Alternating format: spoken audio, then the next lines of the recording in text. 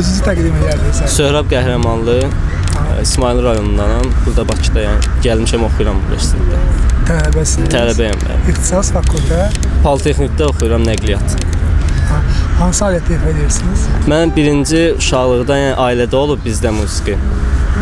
Ə, əmim olub mənim daha çox həvəsləndirən o tar ifaçısıdır özü.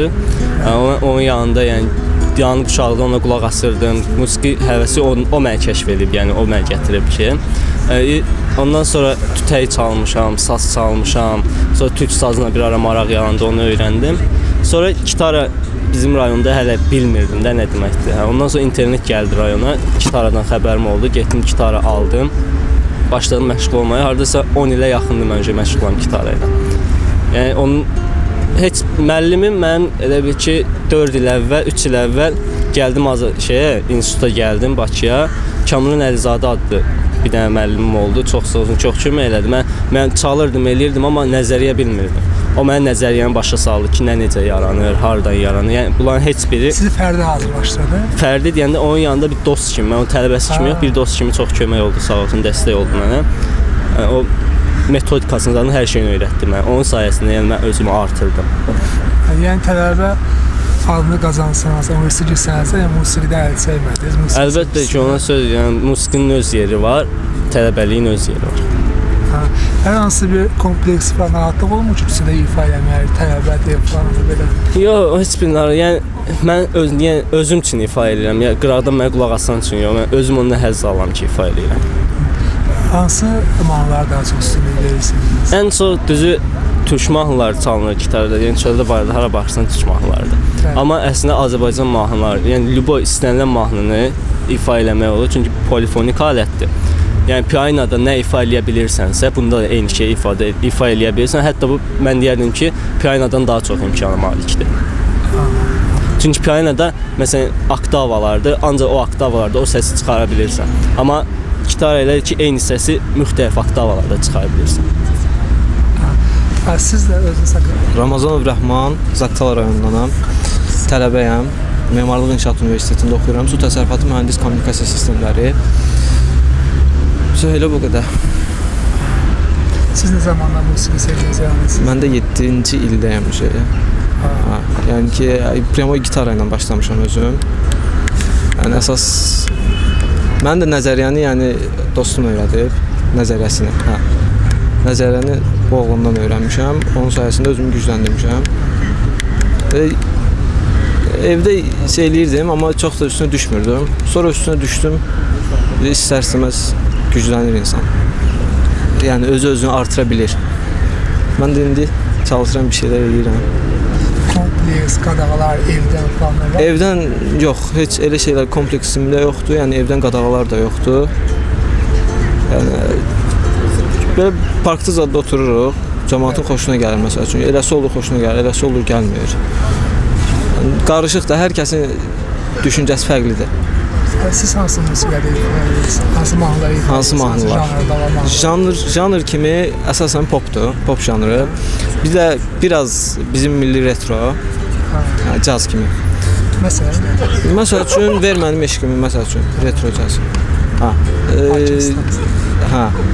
Sonra pəncərə, nə bunlardan, yəni milli mahnılar da olur, hamısı olur qardaşın dediyi kimi. Amma əsasən mən ispan mahnılarına üstünlük verirəm. Yəni onlarınki kimi öyrənirəm. Yəni siz burada ifa edərkən yəqin ki, keçənlər buradan ayaq salıb sizi dinləyirlər. Hə, dinləyirəm. E, sizə necə təsir göstərir bu? Xoşumuza gəlir, hər halda hamının xoşuna gələr də ki, bəyənilirsən. Yəni ən azından qulaq asan var. Sizi narahat edən bir şeylər olur kənardan? Yox, Baxışlardan, hərəkətlərdən? Baxış olur, o paxıllıqdan da, olur, bacarmırlar eləyirlər. Yəni belə də özümüz üçün niyə parkda otururuq? Ona görə ki, yəni evdə bina evində qalırıq. Qonşular narahat olmasın. Biz də çıxıb burada məşq edirik yəni özümüz üçün. Yəni sırf budur. Bir də e, polislər falan narahat edirlər sizləri.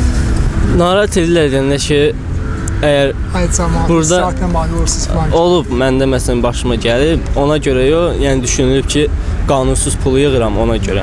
Hə. Mən də heç vaxt yəni elə bir iş görməmişəm. Danışdıq aramızda həll elədik də, yəni elə bir böyük bir şey olmadı yəni. Hə, niyə pul yığmıyorsunuz? Onun vergi söhbəti var da, o haqlıdır məsələn. Mən pul yığıramsa, onun dövlətə vergisini verməliyəm. O söhbət var. Cərimə eləyirlərmi siz? Yox, yox. Cəlmə eləmir. Bəs siz? Yox, mənim də olmayıb. Düz yaxınlaşıblar, ictimai asayişi pozursan.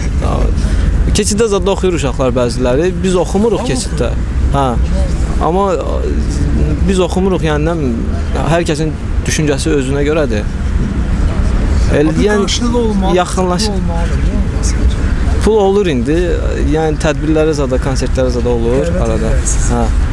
Yəni elə olsa olur, yoxsa ki belə kənardan, yəni orada zad oturub çox az. Biz özümüz istəmirik. Biz özümüz nə deyim, məsələn mən otururam, gitara çalıram, pul yığmadan ötürü deyirəm. Gəlir yoldan biri keçir, pul atır, gedir. O mənim xoşuma gəlmir. O daha dilənçiliyə dönür. Amma gəlsin, qulaq assın mənə. Hə, nəsə eşitsin, sonra pul atıb getsin. O başqa bir şey. Hə, sizə bu fikir paylaşırsınız. Məndə də hə, eyni fikirdə. Yəni Amma ki, bu e, sizin yoldaşlarınız, belə həmkarlarınız deyər, belə normal. Di- bayaq da dedim də hərən düşüncəsi fərqlidir. Pis pis baxmaq olmaz əlbəttə. Və imkanı yoxdur eləyir. Yəni, yenə də Pul qazanmaq olur. Bu qazanmaq əgər üstündə işləsən olur. Məsələn mən Hər şey qazanmırsan. Yox, qazanır. Məsələn, mən müəllimlik eləyib qazanıram. Ya elə olur ki, ım, necə deyim, yəni müəllimlikdən əlavə restoranlara da çağırırlar, ad günlərə çağırırlar, konsertlərə çağırırlar. Hə, elə olanda canlı musiqi kimi gedir orada şey edir. İfa edir, qazanır. Hə, bu istiqamətdə daha da inkişaf etmək planınız varmı? İnşallah gələcəkdə bir yerə qədərmi? Yox, bunun bir yeri yoxdur. Yaşın yəni bir önəmi yoxdur. Neçə Yox, yaşında yəni ki, olursan ol. mən tutaq ki, peşəkar musiqisi olmaq istəmirəm. Məsələn, belə bir şey varmı yəni? Mən əslində hobbi kimi məşğul olam, nə yalan deyim, amma bir şey öyrənirsənsə tam öyrənəsən, yoxsa onun nə əhəmiyyəti var ki? Yarımçıq öyrənmək. Bəs ali təhsil. Ali təhsil düşünmürəm hələ incə sənətə aid ali təhsil alım. Bəs indi e, təhsil aldığınız sahə üzrə Hə, o sahə üzrə özümü təbii ki artırmaq istəyirəm, yəni o heç. iki daşın arasında qalmaq Yox, o elə deyil. Bu çünki hər insanın bir hobisi var. Bu özü də mənim üçün bir hobbidir. Yəni ruhumu qidalandırıram. Yəni Ya bunu hobbi kimi ayırsam, o birisi bəli, o biri mənim ixtisasımdır, peşəmdir sənət. Bəs sizdə məndə də hobbi kimi başlamışam. Bayaq dediniz peşəkar kimi. Ha? Bir var həvəskar, bir var peşəkar, bir də var professional.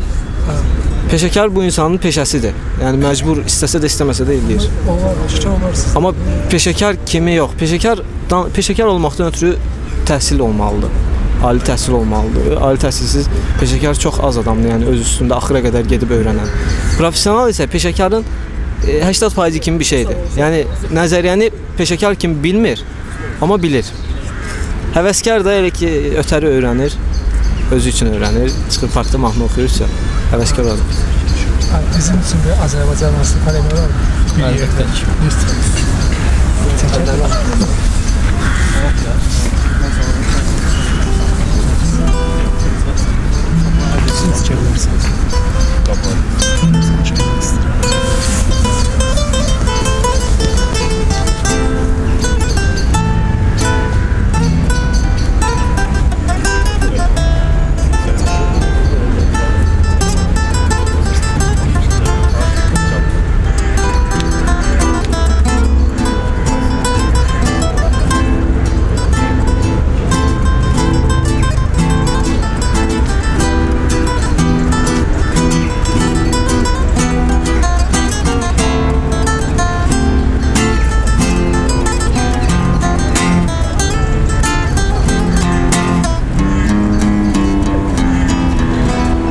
Ellerini üzüp menden Yarın bir baş gider oldu.